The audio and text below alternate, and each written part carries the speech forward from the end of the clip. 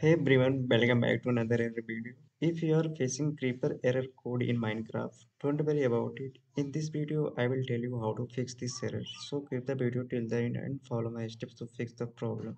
The creeper error code usually appears when the game services attempt to connect in the background but fail to sign into your Microsoft account due to an unstable or poor internet connection. The first solution is check internet speed. For this, Go to any browser and type internet speed and check internet speed. If found any issue related to the internet, fix the problem and then check the error. If no issue found in, into the internet, then verify Microsoft account.